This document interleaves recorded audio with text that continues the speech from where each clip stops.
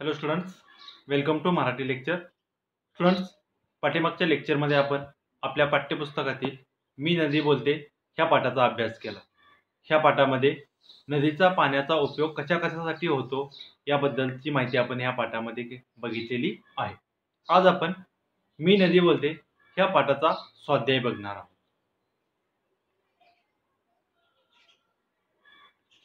प्रश्न पहिला पुढील प्रश्नांची उत्तरे लिहा. नंबर एक नदीचा जन्म कोठे होतो? आपण पाठामध्ये पाहिलेलं होतं की नदीचा जन्म कोठे होतो? तर नदीचा जन्म पर्वतावर होतो. म्हणून उत्तर नदीचा जन्म पर्वतावर होतो. नंबर दोन नदी मोठी कशी होते? पाठामध्ये आपण पाहिलेलं होते की नदी मोठी कशी होते? तर नदीला अनेक लहान ओढे आणि अनेक लहान नद्या येऊन मिळतात आणि तेव्हा नदी मोठी होते. म्हणून उत्तर नदीला अनेक ओढे व नद्या येऊन मिळतात त्यामुळे नदी मोठी होते. नंबर तीन नदीचा वेग कधी कमी होतो? नदीचा वेग कधी कमी होतो? तर जेव्हा नदी पर्वत उतारावरून सपाट मैदानी भागात येते तेव्हा नदीचा वेग कमी होतो. म्हणून उत्तर जेव्हा नदी पर्वत उतारावरून सपाट मैदानी भागात येते तेव्हा तिचा वेग कमी होतो.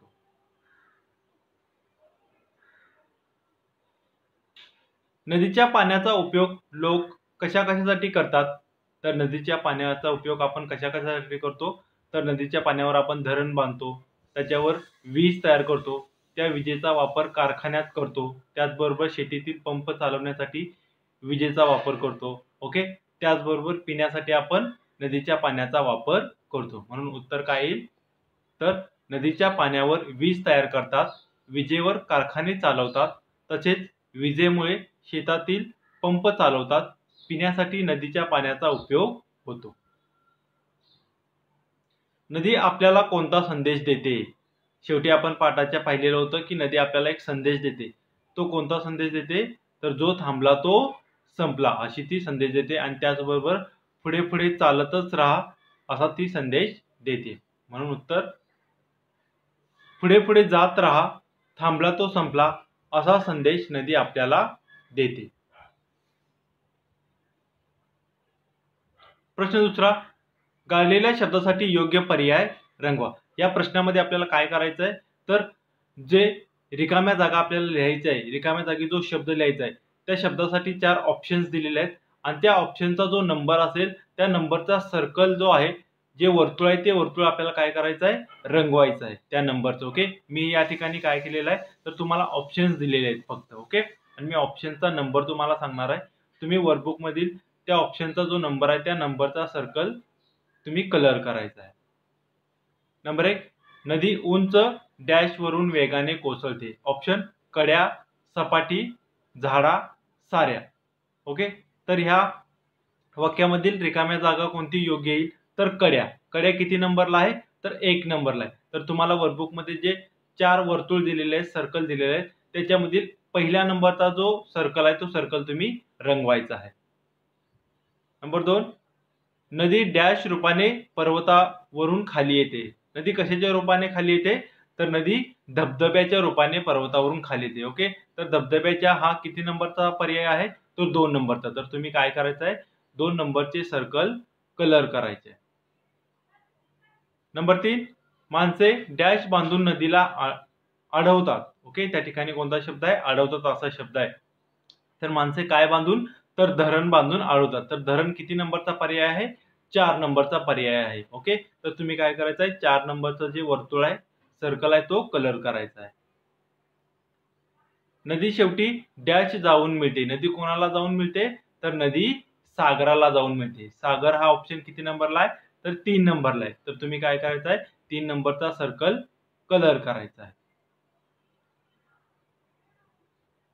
प्रश्न पहिला समानार्थी शब्द लिहा. नंबर एक सागर समुद्र. नंबर दोन धबधबा प्रपात. नंबर तीन नदी सरिता. नंबर चार वीज विद्युत. नंबर पाच पर्वत डोंगर. वेग गती.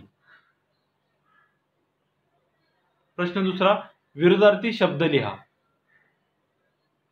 जन्म मरण पुढे मागे खाली वर शेवट सुरुवात उतार चढण कमी जास्त.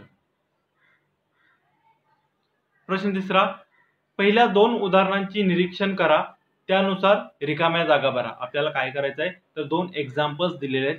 ते एक्झाम्पल्स आपण ऑब्झर्व करायचे बघायचे आहेत आणि त्याच्यानंतर पुढील ज्या रिकाम्या जागा आहेत त्या रिकाम्या जागा भरायच्या आहेत.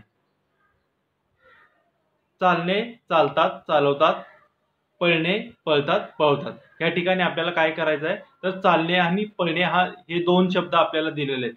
आणि ते दोन शब्द कशा प्रकारे बदलत आहेत ते बदलणारे शब्द देखील दिलेले आहेत. जसं की चालणे हा शब्द कसा बदललेला आहे? प्रथम चालतात आणि त्यानंतर चालवतात. त्याचप्रमाणे पळणे हा शब्द सुरुवातीला कसा लिहिलेला आहे? पळतात आणि नंतर कसा लिहिलेला आहे? पळवतात. ओके? म्हणजे एकाच शब्दामध्ये काय केलेलं आहे? यामध्ये बदल केलेला आहे. त्याचप्रमाणे येणारे जे शब्द आहेत ते शब्द देखील वरील शब्द जसे बदललेले आहेत त्याचप्रमाणे आपल्याला बदलवायचे आहेत. जसं की भेटणे भेटतात भेटवतात. करणे करतात करवतात. मिळणे मिळतात मिळवतात. थांबणे थांबतात थांबवतात. ओके? प्रश्न चौथा हिरवेगार यासारखे रंगछटा दाखवणारे शब्द लिहा. या ठिकाणी आपल्याला काय करायचं आहे? तर मराठीचे जे रंग आहेत ते रंग तुम्हाला इथे दिलेले आहेत. आणि त्या रंगाच्या रंगछटा रंगछटा मीन शेड्स ओके? त्या कलरच्या ज्या शेड्स आहेत त्या शेड्सला मराठीमध्ये काय काय म्हणतात?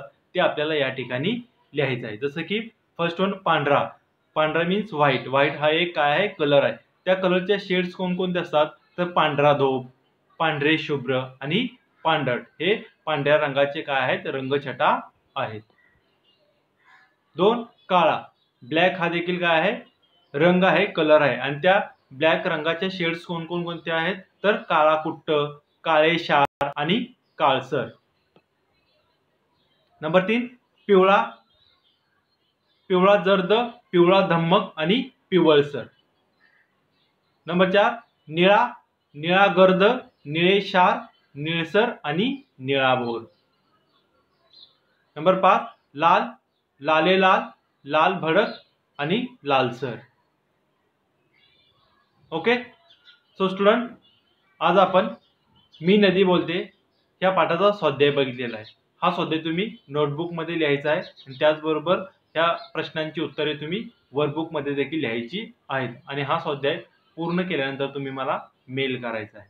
Okay so student today we are going to stop here we will meet in our next lecture till then stay home stay health